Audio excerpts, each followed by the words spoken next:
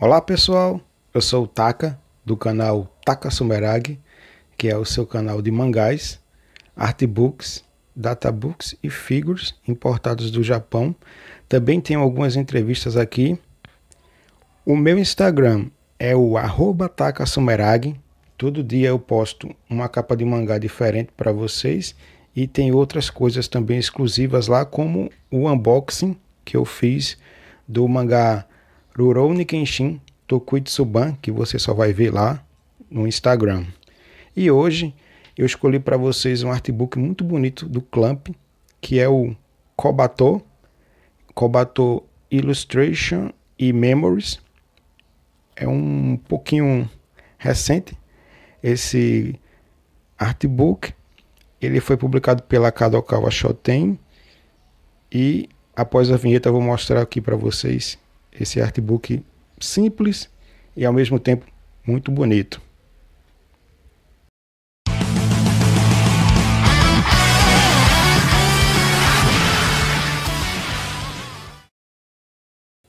Então vou começar aqui. Esse artbook aqui é fininho, ele tem uma capa fosca Aqui na ilustração podem ver que tem muitas flores. O que mais vai ter nas ilustrações são flores. Tá aqui o Yoriogi, que é o cachorro malvado que tem aqui nesse mangá. Aqui atrás o preço, né? 1.200 ien, vou deixar aqui embaixo quanto tá valendo agora 1.200 ien, deve ser uma fortuna porque o dólar tá caro pra caramba.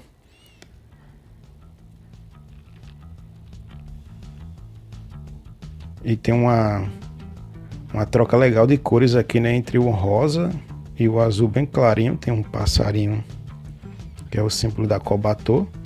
E para quem não sabe, o nome da personagem principal é Hanato Kobato. Aqui tá a lombada para vocês. E Hanato Kobato significa pequeno pombo da porta de flores japoneses já gostam, né, de fazer isso essa coisa bem poética, né, com os nomes dos personagens. Que tá a parte de trás.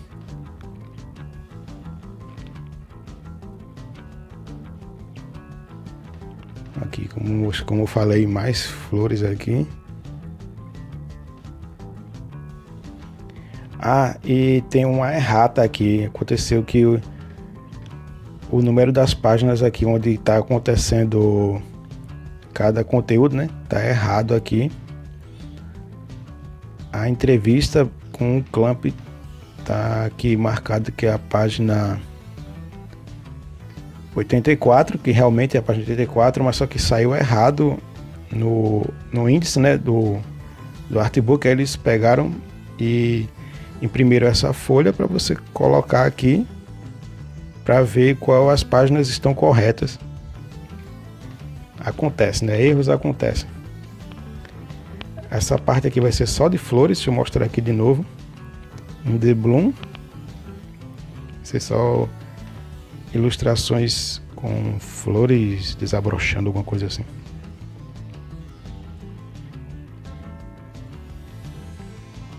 Acho que deve ser uma um capítulo nessa ilustração aqui, é uma página que abre o capítulo, aqui tem mais flores ainda.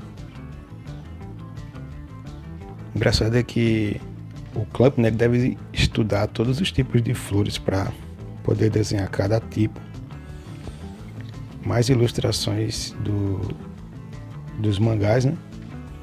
Porque essa, nas edições japonesas e americanas assim que você abre o mangá e tem uma página colorida, né? É o que não acontece na versão brasileira. Eu ainda não mostrei o mangá de Kobato japonês que eu tenho, a coleção, mas num vídeo no futuro, futuro próximo, eu vou mostrar para vocês. E até para vocês terem a noção de como a edição brasileira ficou tão é, fraca, é uma edição fraca, né, comparada com a edição japonesa-americana. Papel. Eu me lembro que até saiu um vídeo de um rapaz chutando o mangá de Kobato quando ele saiu por causa do, dos problemas que tinha no mangá. Eu lembro que eu troquei o meu mangá de Kobato na JBC. A, a capa veio com o desenho tremido. Eu mandei para eles porque também achei que o papel tava muito fino e tava como se fosse transparente, né? Mandei para JBC, eles mandaram o mangá do mesmo jeito, não teve diferença nenhuma, porque a edição tava ruim mesmo, a edição brasileira. Cada ilustração linda. É engraçado que é simples, mas a pintura que. A técnica de pintura que elas usam, né? É impressionante. Muito, muito detalhada a pintura. Apesar de os traços não serem tão detalhados, mas a pintura dá aquele. Essa aqui é a capa do volume 1. Ela também é a capa do volume do daquele artbook, né? Gigante do Clamp, que é o All About Clamp. Também vou mostrar aqui para vocês futuramente. Aqui tá a última ilustração com as flores. E já passo para em white, acho que deve ser com neve, né? Alguma coisa desse tipo. Top, velho, top. Só o Club mesmo consegue fazer essas, essas ilustrações tão lindas assim. Apesar que tem outros desenhos também bons, mas essa pintura do Clamp é sensacional. Aqui tem uma página dupla, que também tem no colorida no mangá. Acredito que seja o primeiro volume que tem essa cena.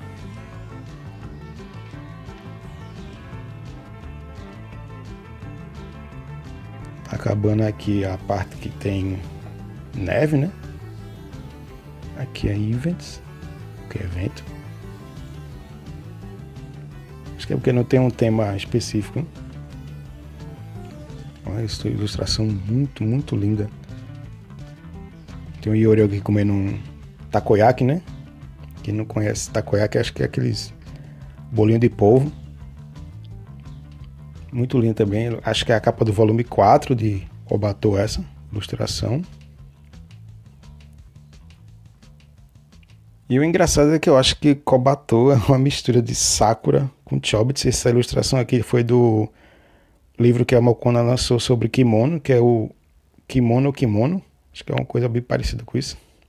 Não tenho na coleção, mas ainda quero ter, que é Twins.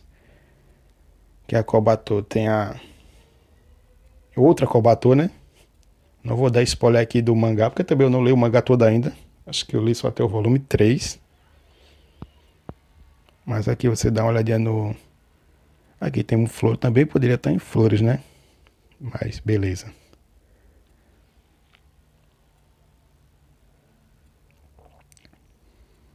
Tem aqui.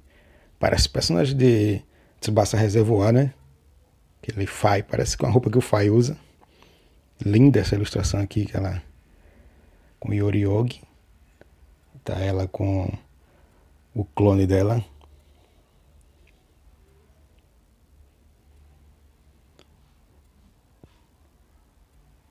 Eu acho que até o Kobato foi desenhado pelo Clamp enquanto ela estava desenhando ainda o Holic, Rei e o. Não, acho que foi o Holic mesmo. Holic e o Tsubasa elas já tiveram tempo de fazer cobatô.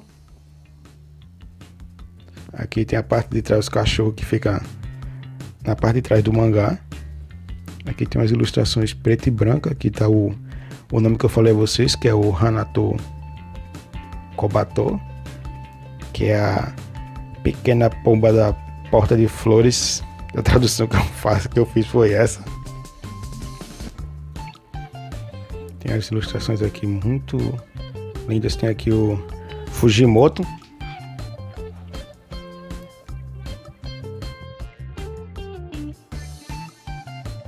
Aqui tem uma, um mangazinho, né? Aqui tá Kohaku, Shuichiro, que é do Manga Wish.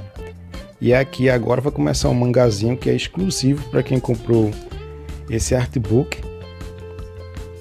É uma história extra. O clube gosta de fazer isso, né? Em Sakura também tem isso. Eu até mostrar para vocês depois o artbook de Sakura o 2, que eu só mostrei 1. Tem o 2 e o 3. E é sensacional aqui a, a história, apesar de que aqui tá a, a né? A, o anjo de Wish. Apesar que no começo, no, logo no primeiro volume de Kobato, não gostei. Tanto pensei até em. Caraca, vai ser um, um novo Angelique Leia para mim, que eu não gostei muito de Angelique Leia. Mas a partir do volume 2 me surpreendeu muito. O 3 também, de Kobato. E o engraçado é que é um seinen, né? Para quem não sabe, Kobato é um seinen. Eu achei um shoujo, mas eu vi que tem umas coisinhas meio pesadinhas ali. Aqui começa uma galeria de ilustrações preta e branca. Não importa se é preto e branco, se é colorido, o Club detona nas ilustrações. Aí voltando aqui, eu vi que tem umas coisinhas pesadinhas. Tem um. Acho que no primeiro, no primeiro volume tem um, um velho tarado falando de porno. Aí tem umas coisas falando de pornografia, de. de prostituição. Aí eu disse, caraca, é meio pesadinho isso aí para uma criança. Aí depois fiquei sabendo que saiu primeiro numa revista Seinen. Aqui tem uma entrevista com o Clamp. Aqui já começa a entrevista com o Clamp, tá tudo em japonês, sem furigana. Eu, quando eu for ler isso, eu vou me ferrar. Aí voltando aqui, foi publicado na revista Seinen pela Shogakukan. Depois ela foi transferida para outra editora, que foi a Kadokawa. Não entendi qual foi o que aconteceu e qual foi o problema. Mas Kobato é um seinen, para quem não sabe. Aqui tem uns, alguns comentários de como foi feita as ilustrações, comentário do, do próprio Clamp, muito bom também. Agora o Rin também aqui não tem o Furigana. Algum, alguns não tem o Furigana. Tem que ser o craque no Kanji para poder ler. Mas é muito top. Esse artbook saiu em 2011 pela Kadokawa Shoten. E se você gostou do vídeo, por favor, curta, se inscreva no canal compartilha com os amigos que gostam do Clamp e Kobato. E aproveita e me segue no Instagram, que é o arroba Takasumerag, e segue também aqui os novos parceiros do canal, que é o arroba supercampeõesbr, arroba made mangá, arroba reino do mangá e arroba indies.dubladores. Esses são os perfis que eu recomendo no Instagram. Até o próximo vídeo. Já, né?